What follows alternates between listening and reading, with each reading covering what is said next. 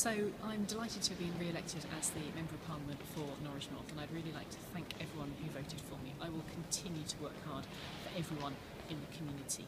Here I am in Parliament. Today is a special day uh, in the reopening and re-establishment of Parliament because members of, members of the House of Commons have just been swearing in. I have just sworn in today. That means I'm legally uh, the Member of Parliament again for Norwich North. I've just sworn my oath of allegiance to the Queen.